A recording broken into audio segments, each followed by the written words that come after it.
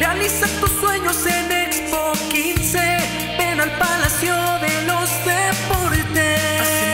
Semilla de tu